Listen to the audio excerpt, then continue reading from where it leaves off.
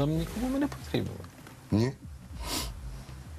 Зараз там така почалася зворотня е, битва за ідентичність, я б так сказав, нова чи зворотня, так? Ну, це ми поговоримо, це все в контексті розмови.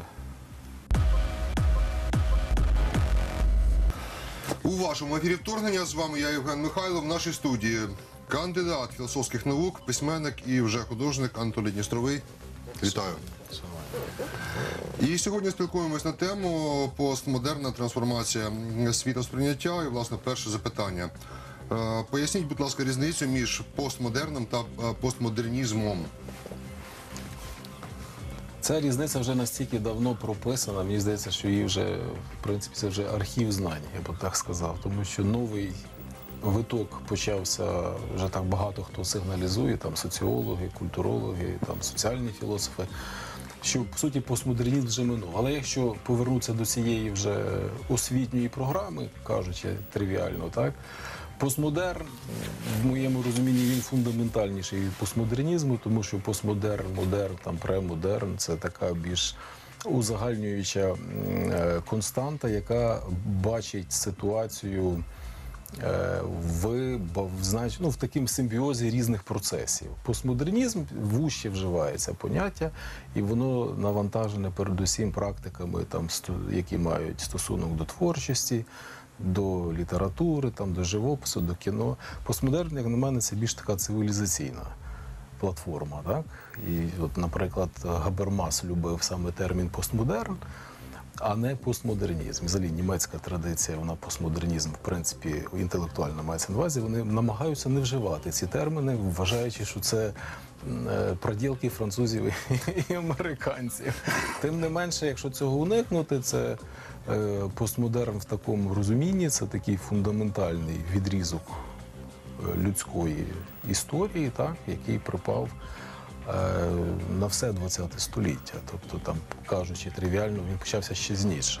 Хоча постмодернізм, ми народження його трактуємо там 50-ми, 60-ми роками ХХ століття. Тобто оця вузькість, хочу пояснити в трактуванні постмодерності і постмодерну, я б так сказав.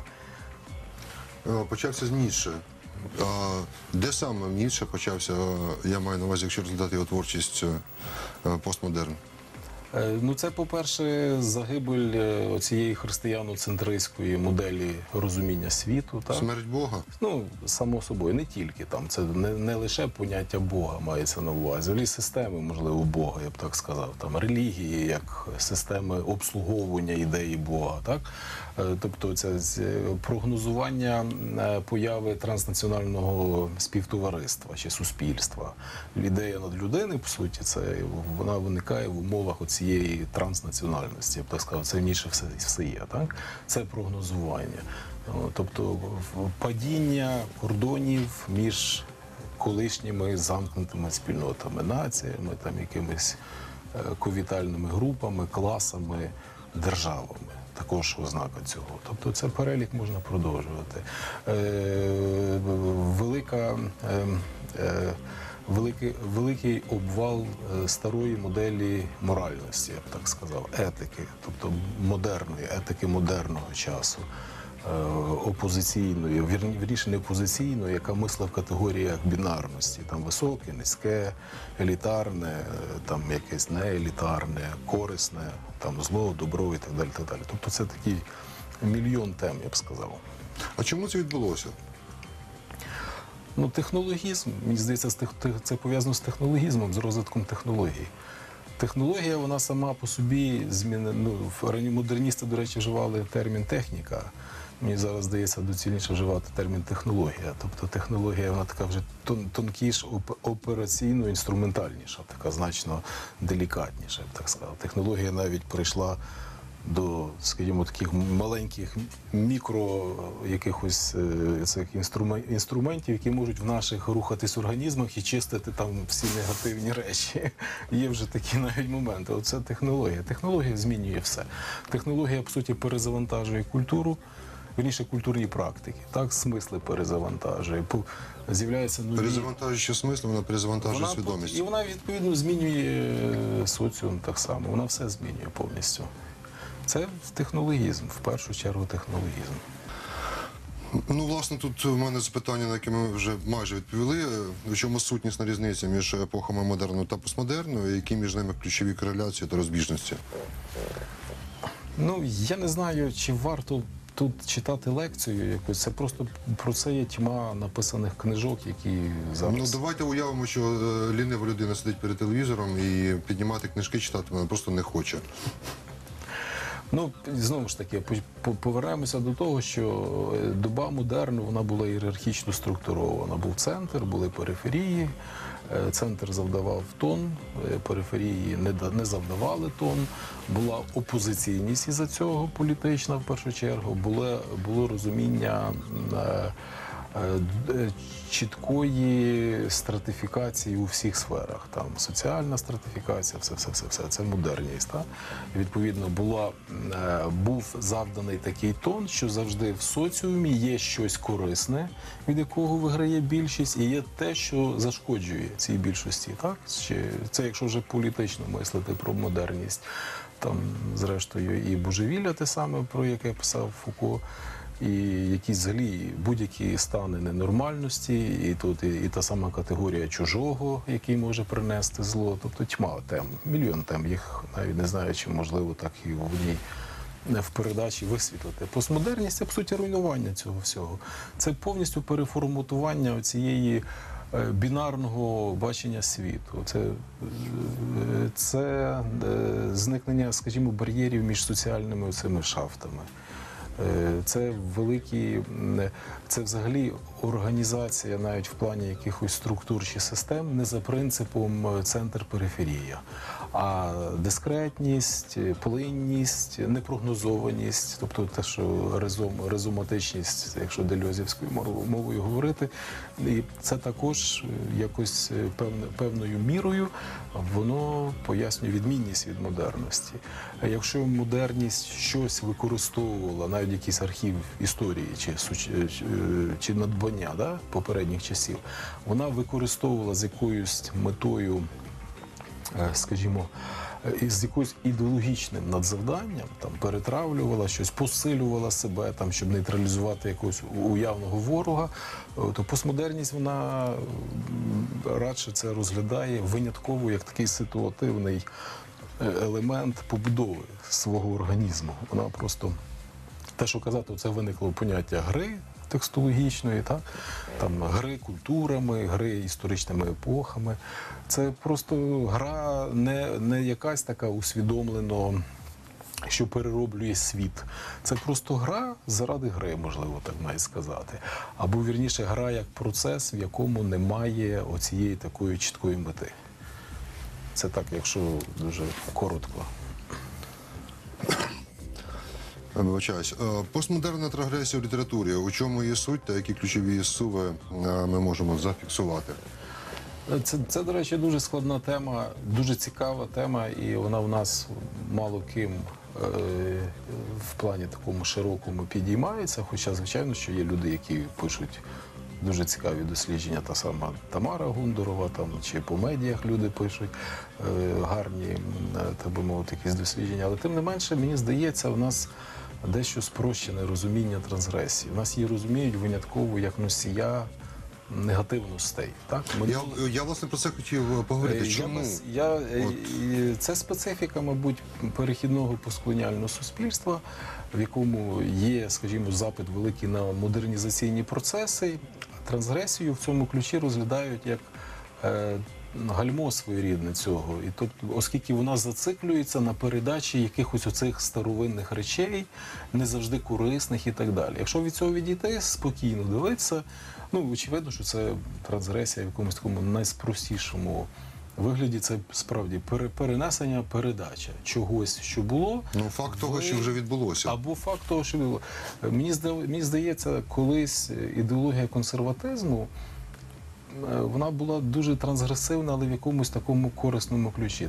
Консерватизм вважав, що ми, ми не консервуємо старе і нав'язуємо сучасності. Ми хочемо законсервувати щось корисне з минулого щоб сучасність цим користалася. Для того, щоб його гармонійно вписати. Так, оце по суті е, теоретики головні консерватизму 19 столітті. Вони багато цих речей.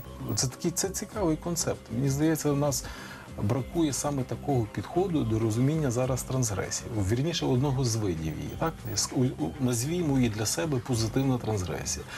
Е, Ясна річ, що на соціум прибитий негативною трансгресією, в осерді якого я, е, я би це так сказав, лежить те, що психологи, там, психоаналітики називають навчена неспроможність.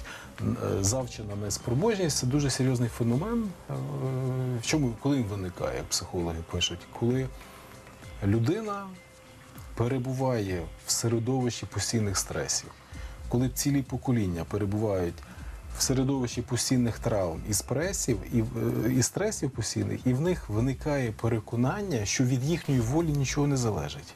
Це така патовість ситуації, хоча вони навіть так діють, коли є вихід ситуації. От її існує, от є тупікова ситуація, з неї є хороший вихід. Треба напрягнутися, зробити те, те, те. Вони ніколи в житті не напрягнуться, не зроблять те, те, те, бо вони в них воля по суті паралізована. І в них по суті е, атрофовані оці здатності мислити по-новому, активно діяти, напрягатися, щоб щось здобувати. Так? От, тому що це, що я сказав, оцю, е, це як протидія. От, наприклад, називають, що, наприклад, американський прагматизм він може бути е, як інструмент е, протидією цієї неспроможності. Але, наприклад, Гелнер в цьому сумнівається. Він каже, що Ернест Гелнер каже, що американський прагматизм це ознака ідентичності американської. Він всім не властивий. Особливо він європейцям не властивий, бо вони більш консервативніші і заглиблені в історії. Вони, тобто, більш історизовані, я би так сказав. Ну, ми, як нація, також більш історизовані. Ми травми свої несемо і досі, ми їх переживаємо, але тим не менше треба щось з цим робити. От оця завчена неспроможність, вона дуже показова, особливо для носіїв старших поколінь. Е, Молодші покоління вони вже е, вони вільніші, вони більш інструментальніші, вони мислять в дієвий активний спосіб. І от трансгресія, по суті, в українському варіанті вона е, домінуюча її частина, вона вражена цією завченою неспроможністю. Цим психокомплексом, я так сказав, завченої неспроможності. Подолання цього, звичайно, може змінити навіть і саму трансгресію. Тобто я би не розглядав трансгресію як таке тотальне абсолютне зло, яке стоїть на заваді цієї, умовно кажучи, свідомості чи енергії модернізаційної за своїм суттям, яка хоче прагне інновацій, е, вивчення такого активного е, якихось новітніх досвідів, засвоєння їх, щоб там інтегруватися в якісь глобальні процеси. Е, В нас розглядають саме в такому негативному ключі трансгресію. Але справді в, її основі є оцей е, завчене незнання, оцей психо, психо Стосовно літератури. Якщо повернутися до літератури, то в література так само. От це породило такий цікавий крен, я б так сказав. Є от запит, мовляв, е, літературні практики, які, е, які є модернізаційними за своєю суттю. А от ті, хто. Ті, хто осмислює соціум, оглядається назад, щось аналізує, то це люди вражені трансгресією. Наприклад, я чув навіть про таке часто про себе, що я такий дикий трансгресист, який щось там. Просто є один момент, який люди забувають.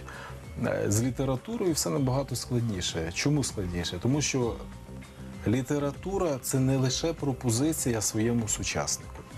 Це не про я пишу романи не для того, щоб тільки мене читав мій сучасник. У мене я навіть таку формулу вигадав. Я книжки видаю для сучасника, але я пишу тексти для тих поколінь, які будуть жити вже зовсім іншій соціокультурній реальності України. Я не знаю, яка це буде Україна через 55, 50, 80 років.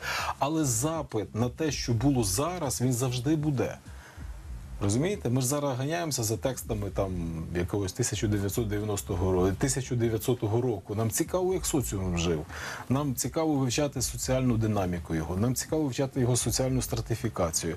Оці переходи можливі з одних соціальних ніж в інші, тобто трудові відносини, сексуальні стосунки, що завгодно. Нам все смаки, моду, там е, оцю речевість епохи ми хочемо знати. Що нам читати людей, які займалися там модернізаційними своїми фантазмами в літературі? Ми хочемо хочемо живий голос того часу побачити. От такі тексти от, треба писати. Не, не тільки такі.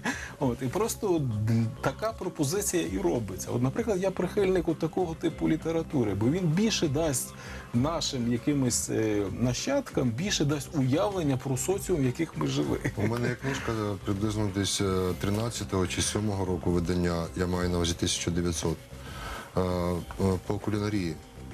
Ну, Там зібрана, зібрана ну, на на дві частини поділена, зібрана кухня російська і кухня французька. Там обіди на шість, на шість людей і з усіма блюдами, з технологіями.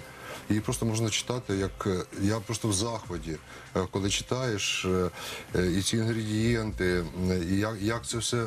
Тобто воно абсолютно інше. Це настільки цікаво, воно просто читається як роман, відверто кажучи. Це реконструкція, по суті. Е, Проблематика симулякру. Не можемо обійти. Як концептуальний стрижень постмодерністичного дискурсу. Чи є симулякр з точки зору, е, чим є симулякр з точки зору філософського світосприйняття?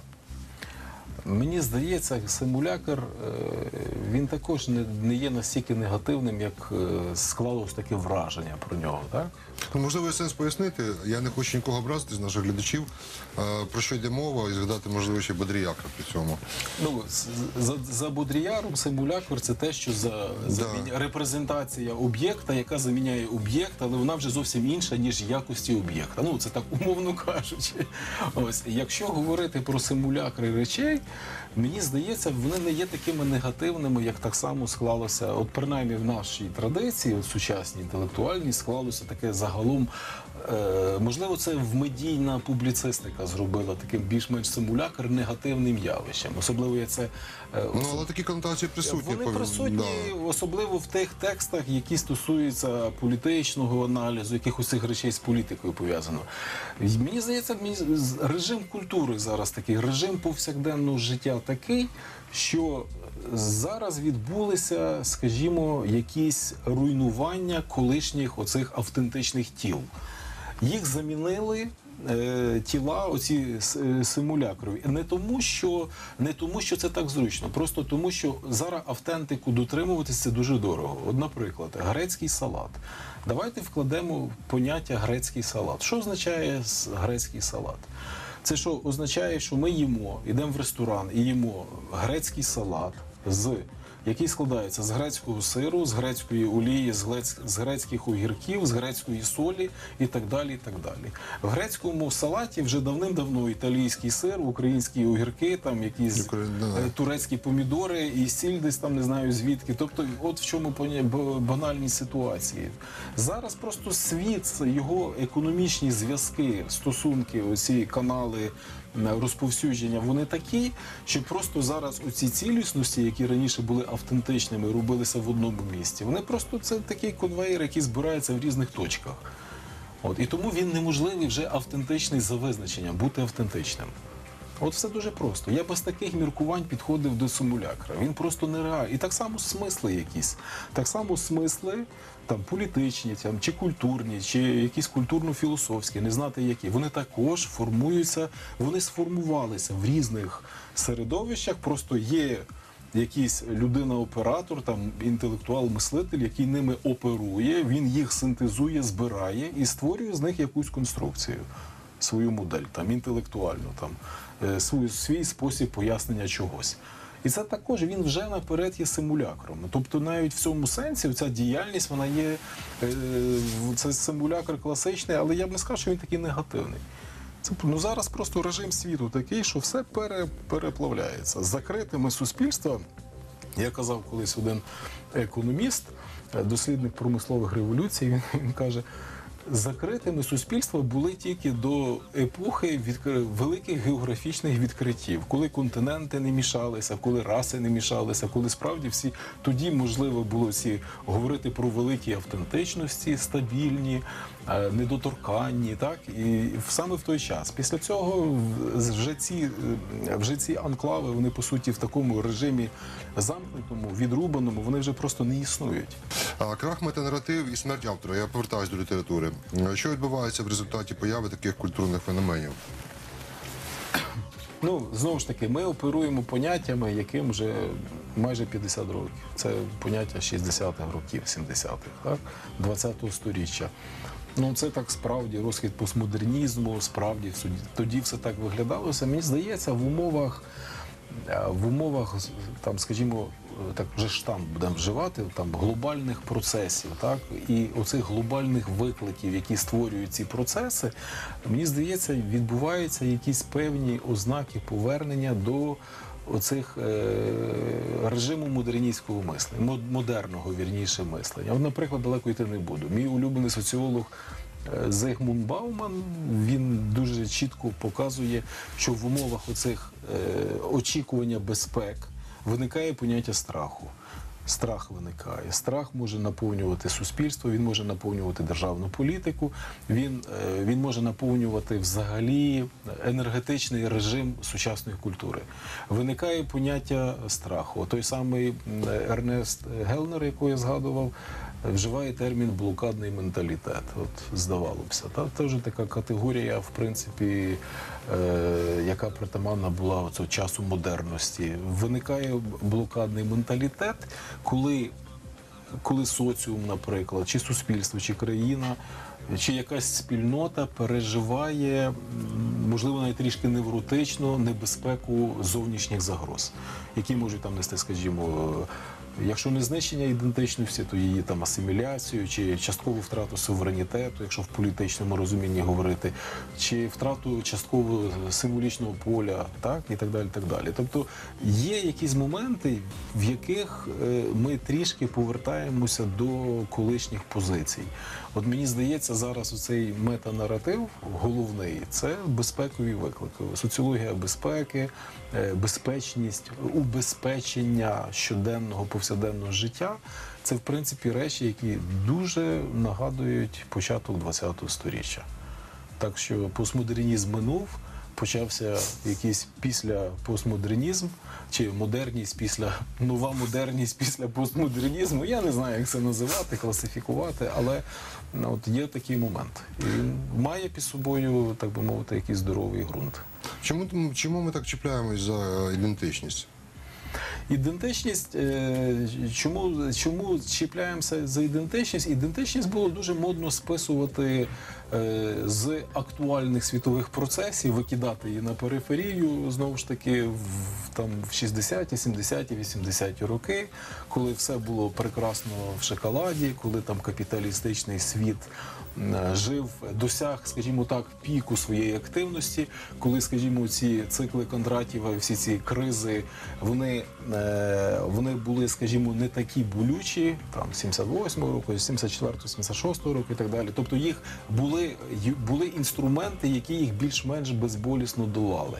Але просто мені здається, ситуація е, взагалі змінилася не лише е, ну, і в міжнародної спільноти, і всіх країн. Вона істотно змінилася, тому що зараз. Ну, це об'єктивний наслідок, що керувати чимось стало неймовірно складно, особливо керувати тим, що є дуже плинне, мінливе, яке неможливо зловити, яке неможливо навіть е, прогнозувати. От, тому ідентичність, очевидно, виникає е, як е, форма, оця битва за ідентичність, чи вірніше політика укріплення ідентичності, це виникає як одна з форм е, такого локалістської відповіді на оці глобальні виклики. Ну, Це відповідний захист. Це, це, це, це, це, так, це по суті соціологія безпеки цим займається, соціологія глобалізації. Це все всі звертаються знову ж таки до ідентичності, тому що людина хоче мати ґрунт під ногами. Е, Цей ґрунт під ногами. Вона може знайти винятково щось укріпляюче. Що вона буде укріпляти? Вочевидь, вона буде укріпляти якісь складові, які для неї є основні. Що для людини є основним в плані оцієї самоідентифікації? Вочевидно, це соціокультурна її ідентичність, ну і, мабуть, національна ідентичність. Дві головні ідентичності, які вона. І тому, як це не дивно, ми ча- частково повертаємося, ну не тільки ми, а взагалі суспільство і і в глобальному сенсі є це повернення певною мірою до, до теми ідентичності. Це не націоналістичне повернення, це дуже важливий момент. Це винятково з точки зору оцієї м, е, безпеки і безпеки блокадного менталітету, як його називає Гелнер. Це повернення винятково з позиції, щоб щось укріпити. Ну це прагматика. Це прагма... так, це дуже прагматичний такий інструмент. Тому тут я б не сказав, що це ці воплі націоналістичні. Ми там за свою ідентичність а всім голову переріжемо. Це ні, це, взагалі це жодним чином не корелюється з націоналістичними цими практиками. Тобто, це, це не, не, не, не те, що було в часи модерності, я би сказав. Коли це робиться за чужий рахунок. Тут, тут зовсім інша історія. Тут справді така більш прагматична складова. Резуму згадували. Е, Резума як е, структура постмодерного світоспоглядання. Е, Розкрийте проблематику, поняття і наслідки його появи. Я дуже люблю фільми. е, Жахів. Вірніше, оці був певний період техногенних фільмів жахів. Е, Ну, це, мабуть, і не фільм жахів, там ж є в них спеціалізація. Нуар. В певний, в певний період в американців виник, виник е, в 70-х роках під впливом цієї зовнішньої комуністичної загрози виник запит на, на, такий, на, на, на, на такий тип художніх практик, коли в суспільство приходять чужі. Чужі, вони Ну, знову ж таки, розповсюджуються. так. запитання свій чужий. Це 60-70-ті роки. Мені здається, резомність е, виникла е, в умовах оцієї, е, коли наш горизонт бачення завжди впирається в те невідоме, невідомо, що за ним буде. От мені здається, резуматичність з цим і, і, і виникла. Наприклад, колись було, я дуже люблю пам'ятник світової літератури плавання святого Брендана. Це такий священник, який плавав там від ост... в північній Європі від острова до острова. І він описує, і приплили ми на якийсь острів невідомий. а Там червоні люди.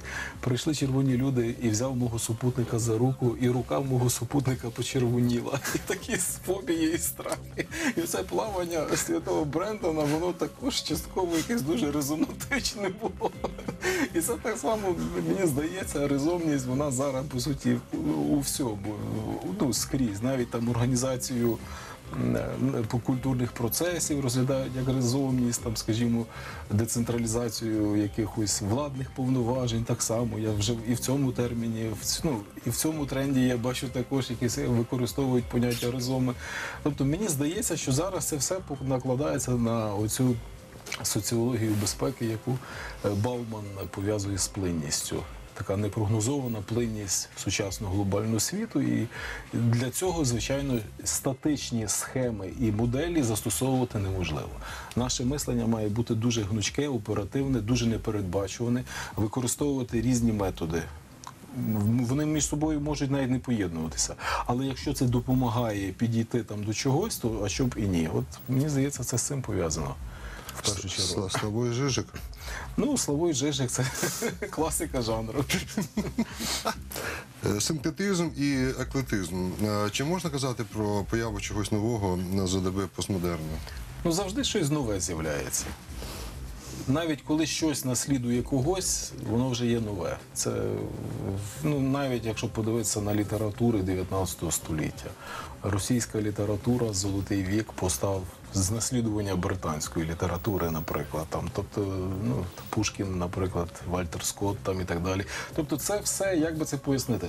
Це може бути перенесення якихось прийомів, якихось цікавих підходів на інший ґрунт, але на іншому ґрунті вже інший продукт.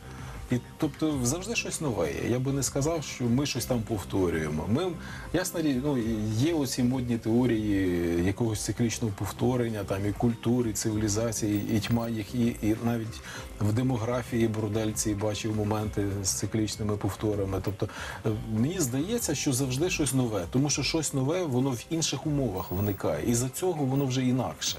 Попри те, що воно за каркасом може бути нагадувати те, що було, але воно в інших умовах і воно вже інакше. Тобто, це вже витвір от цієї цього місця і часу. Тобто, мені здається, завжди щось нове є. Завжди. Навіть коли е, скажімо, якісь бідні компанії крадуть автомобілі з ну мається на увазі, е, як хтось один пірат подякував.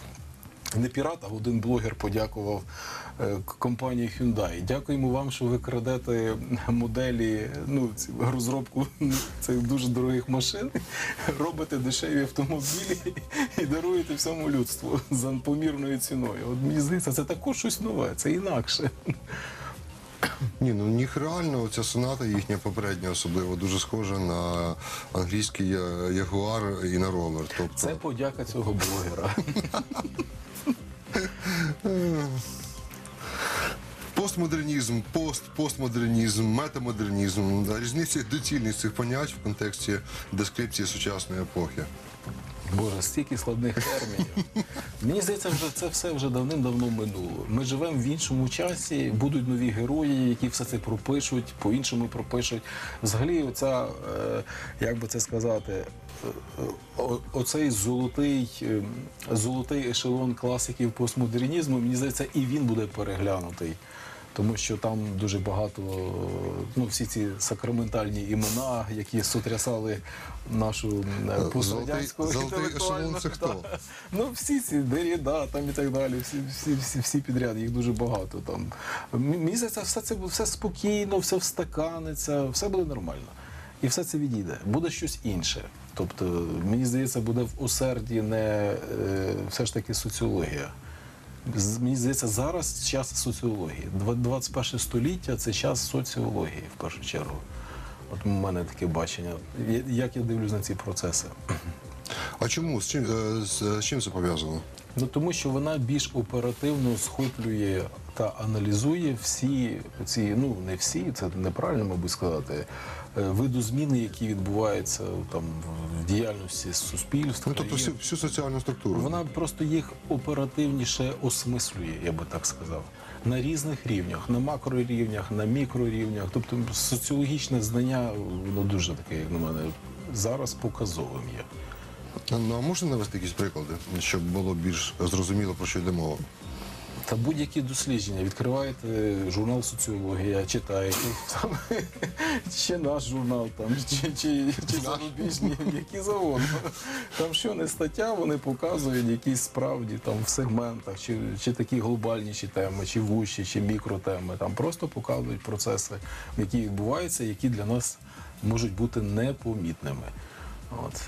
Тобто немає сенсу розглядати зараз окремо якісь е, елементи е, соціальної структури, а вони в будь-якому випадку мають розглядатися в контексті чогось більш е, Ні, системного. не обов'язково. Це ж може бути по-різному. Це ж може бути і в контекстах глобальних, і може бути на винятково в таких в мікропоглядах, винятково дуже вузьке дослідження. Але все це мені здається зараз зараз, по-моєму, з- занепало це мислення такого. Е, Філософського так характеру, там узагальнення, оці великі складнопідрядні речення, е, умовиводи. Це все дуже статичне письмо, такий професорський стиль. Він, по-моєму, вже помер. То він, по-перше, нічого не пояснює. Він не встигає за тими змінами е, докорінними, швид, швидкими, прискореними, які відбуваються зараз, і цей стиль просто загинув. Та він за великим рахунком він загинув ще на початку ХХ століття. От. Просто зараз мені здається час е, е, дуже, оскільки культура сама собою дуже інфографічна стала, оперативна.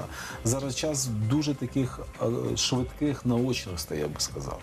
І тому виграють ті способи осмислення організації фактів і знання, які виграють в часі зустріч з людиною, яка споживає такий інтелектуальний продукт. От, от інфографіка мені Тобто комунікація має відбуватися вона зовсім дуже інакше. вона, звичайно, надзвичайно трактатне письмо воно померло. Трактатне, це філософсько-методологічно узагальнююче. Тобто, це зараз зовсім інші, як на мене, не те, що канали осмислення, а й форма подачі сама по собі. А зберігаються е, та суті ті об'єми. Та Чи зберігається от дисертаційний жанр, наприклад, у всьому світі. Існує і досі. Хоча я не знаю, на що він впливає. Ну, ясна річ, що там є дослідження актуальні, важливі, але сам по собі жанр дисертаційний він лишається таким консервативним, я б сказав, способом е, подачі і організації матеріалу та й аналізу. Ну і власне говорили про золотий ешелон та ключові топоси та мистителі цієї доби. Хтось сказав, я не пам'ятаю хто, чи, чи Ямпольський, чи покійний Дубін недавно сказав, е, що зараз інтелектуал і філософ він же не буде е, створювати смисли для соціуму. Він буде, е, він буде оперувати смислами, які вже діють. От оце дуже важливий момент, що зараз по суті по Знак покликається на інший знак. Зараз по суті, ну не зовсім так. Тут більше це буде більше пов'язано з логікою е, колективної дії, з логікою соціальної дії. От, В Джеймісона дуже була гарна фраза, що- про культуру, що культура зараз. е, Новий формат культури це та культура, яка буде претендувати на зміну соціального порядку на створення нової соціальної моделі, нової соціальної системи. Так? І зараз, якщо в такому розумінні підходити, то це винятково інтерактивна, така дуже е, це процес не лише мислення, це процес в симбіозі мислення, практики, дії. Тобто він і політичний, і соціальний водночас, він і інтелектуальний може бути, і волонтерський. Тобто це така ну, зовсім інша мобільність, я б так сказав, ресурсів різних, інтелектуальних, там яких завгодно, менеджерських. Тобто, ось з чим ми стикнулися. Ну, не стикнулися, а те, що зараз є, те, що продуктивне, те, що себе виправдовує, я би так сказав. Вже час кабінетних писань далеко-далеко минув Позаду. позаду. Знак, що, що покликається на інший знак. Що відбувається, коли світ перетворюється на арабеску? Е, Ваша опінія е, стосовно доби постмодерну загалом? Ну, з одного боку, е, я вже якось сказав, що в наш, наше покоління, старше покоління, воно в своєму роді дуже, дуже цікаве. Е, Чому воно дуже цікаве? Тому що на його фізичний час випало е, перебування в різних е, надзвичайно різних соціокультурних ну, обставинах. От, наприклад, ми виникли в умовах закритого суспільства Радянського Ну, ми з'ясували, що не існує закритих суспільств. Ну, вони Не ми, принаймні, ви цитували. Ні, ну почекайте. з- з- Зараз вже в принципі справді зараз від глобалізації ніде сховатися неможливо. Я просто говорю, що за якістю різні були способи життя, і це співпало на одне покоління. Одне покоління Радянський людей, Союз раз. е, перебудова. Перебудова два. На оцей е, Незалежність. мафіозний капіталізм 90-ті. незалежності, накопичення капіталу. Е, Тепер е, процеси, які ну, пізніше відбуваються, ті, ті, що зараз, це все різні соціалізації. Якщо навіть говорити про техногенний бік цієї справи, люди виникли в умовах, коли не користувалися телефонами мобільними, коли не користувалися комп'ютерами, коли не було віртуальної реальності як такої. Вона існувала тільки не в нас. Зараз все це пройшло. Це нова етика стосунків, це нова е, форма комунікації, це все, все, все. І це одне людський вік. Він пережив такі неймовірно шалені е, впливи на себе. От про що я хотів сказати. Це дуже це я, я не про політичний аспект навіть говорю. Я про такий цивілізаційний момент говорю, що одне покоління людське не е, перенесло на, на собі вплив надзвичайно прискорених процесів. До гаджетів прийшли, банально кажучи. Ми, ми дивилися телевізор в дитинстві з трьома кнопками і, і купляли друковану газетку, щоб подивитися мультик. Ми його підкреслювали, коли ж він буде. Ага, мій улюблений мультик буде. В 16:15. п'ятницю, 16-15 в п'ятницю. І всі чекали в понеділок вже п'ятницю. А зараз ти собі залив мультик і подивився той, який хочеш. От про що я говорю. І це одне покоління пережило такі неймовірно. Чому я про цей момент говорив? Про цей феномен завченої безпорадності, тому що якраз у цьому поколінню найважче. Хто виник в цій сучасній динаміці, він її всоктав з молоком матері, йому легше. Тому що він не є носієм старих форм соціалізації, які в нього привиті на якомусь навіть підсвідомому рівні. Він та була раса. Він дитя, яке прийшло в цей час, він зняв цей час і він з ним рухається, він з ним розвивається. А от цим старшим поколінням їм надзвичайно важче зараз е, адаптуватися до цих всіх змін, тому що вони живуть багато в чому їхнє фізичне життя здорове плані юності, молодості, воно випало вже на ті епохи, які минули. Оце дуже складна проблема. Вона справді складна. Ну, більшість людей не встигають е, відслідковувати і адаптуватися під це все. Так вони, тому вони, вони просто випадають на маргінез. Вони випадають так в тому та й річ, що це дуже така складна тема.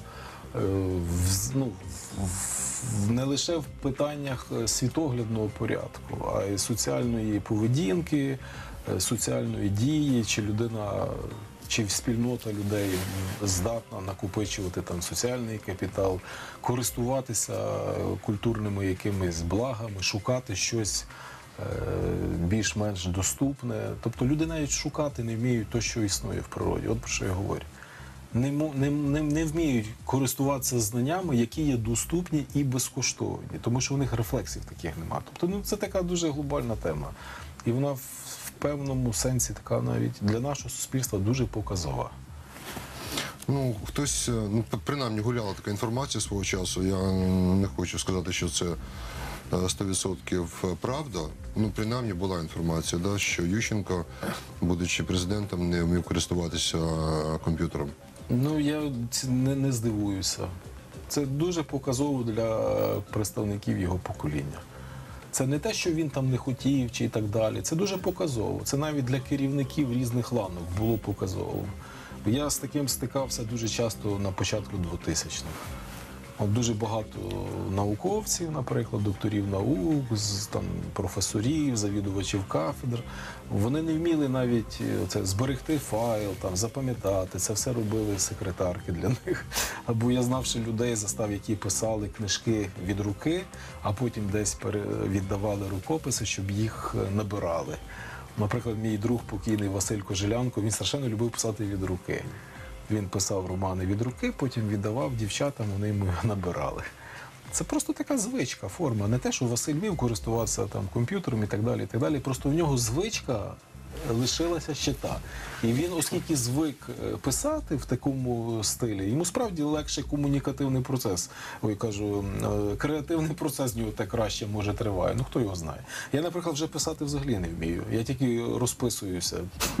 Я справді це А не потрібно згадувати, Це як. просто жах. Я просто на клавіатурі швидше пишу оперативніше, ніж що рукою. Я якось пам'ятаю, десь поїхав, взяв записничок і щось хотів писати. Там та я втомився, щось три речення написав, мені набридло. Я кину. Думаю, згадаю, то напишу на комп'ютері, не згадаю. Це просто от, це так само показник, до речі, цього всього, що ми сказали. І власне останнє запитання. Як е, змінилося сприйняття та створення і наповнення, я навіть не знаю, там творів масового мистецтва, е, масового е, мистецтва в контексті вище сказано, про що ми говорили. От, і в цьому також в цьому сенсі затребуваність того чи іншого суспільства на ті чи інші прояви мистецькі. Ну, мені здається, зараз вже неможливе е, мистецтво за, е, за межами мови масової культури чи інструментів масової культури. Тобто, так зване це високе там чи елітарне мистецтво, воно просто дуже нудне саме по собі. Воно не цікаве і нудне. Його просто неможливо навіть е, гіперфахівцям. ці- е, ці- е, Воно не цікаве навіть гіперфахівцям, які там дуже би щось в цьому могли петрати. Мені здається, зараз по суті культура стала не високою там чи масовою, вона стала або креативною, або не креативною. От актуальна культура поняття. Це вона справді вона може використовувати будь-що. Вона може але вона має бути доступною, дохідною і дуже оперативною в плані подачі. І в цьому сенсі вона схожа справді на те, що ми в традиційній старій е, описовій цій поетиці називаємо масовою культурою. Хоча вона не масова. Культура вже не масова і не не масова. Це такий сплав а вона просто доступна, вона дуже креативно доступна. Вона це її основна умова виживання, навіть не виживання, а актуалізації. Так, бо виживання це так само дуже по-модерністськи звучить. Так, ой, виживання. Там я, вже вмираю. Просто вона, вона, якщо хоче бути симпатичною, цікавою і щоб нею цікавилися, вона просто має не створювати зайві бар'єри. Бо колись теологи у ці ще часів там е, часів там Френсіса Бекуна, там ні, навіть не Френсіса Бекуна, Роджера Бекуна, ще, ще тоді в темні віки підійдемо. Казали, що от ми навмисне створюємо складну термінологію, щоб відшити профанів. Так, щоб Зло, зло в пекло. Здається, зараз на оці складнощі вони навпаки заважають. Зараз ідеться спрощення, щоб була оперативна доступність. Е, Характеристика суспільства, в якому не затребувана ні лі- література, ні мистецтво. Ну, я маю на увазі на рівні там живопису або якихось інших форм прояву. Ну, на жаль, наше суспільство дуже е, вписується в цю проблематику, вона і властива. Е, ну, нема насправді ні Якщо говорити про це з точки зору якихось оцих ринків і так далі, то звичайно все це перебуває в якомусь такому дуже зародковому стані. І книжковий ринок, і живописний ринок, там ну арт-ринок в цілому. Тобто, ну дуже я недавно говорив з художницею з Донецька е, вихідцем з Донецька. Вона я кажу, як вас взагалі там купу, купували картини? Ще що вона каже, нас практично ніколи в житті нічого не купували. Тобто нема в людей потреби щось купувати. Оце дуже погано. Це великий показник того, наскільки суспільство е, інтенційно сильне чи не сильне в культурному і творчому плані. От Київ трішки купує, але це все одно дуже все смішно, тому що в нас арт-ринок він це чоловік 200. Це дуже багаті буратіно, як правило, які це розглядають як форму капіталовкладення. Наслідки. Які наслідки цього? Ну які наслідки? Треба розрухуватися, треба. Це просто, ну мені здається, це проблема е, всіх, як це не дивно. Це проблема і формування середнього класу, це формування. е, І взагалі митці мають більш по-іншому себе поводити.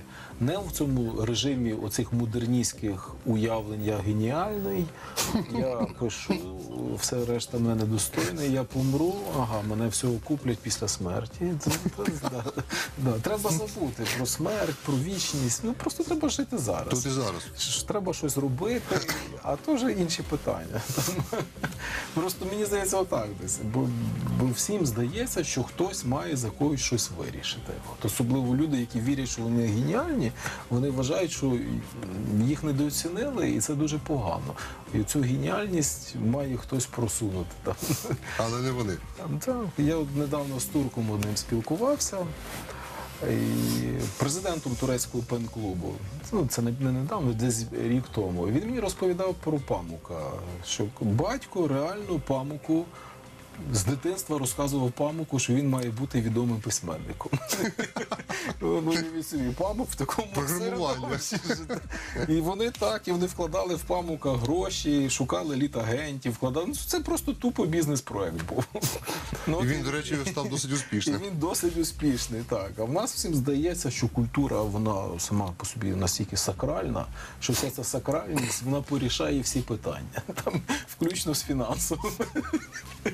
Да, є такі моменти, особливо спілка письменників, мені здається, вона стоїть на цих позиціях. Е, Шановні глядачі, на цій оптимістичній ноті я хочу нагадати вам, що протягом програми ми спілкувалися на тему е, постмодерна трагресія світосприйняття. Е, Гостем нашої студії був кандидат філософських наук, письменник, художник Анатолій Дністровий. Щиро дякую. Дякую, що знайшли час і завітали. Дякую за цікаву співбесіду. Ну а з вами, шановні глядачі, ми вже традиційно зустрінемося зустрінемось за тиждень у форматі вторгнення. І наостанок хочу нагадати вам, що інформація, яку ви сприймаєте в даний момент часу та простору, це всього-навсього електромагнітна хвиля. Будьте здорові!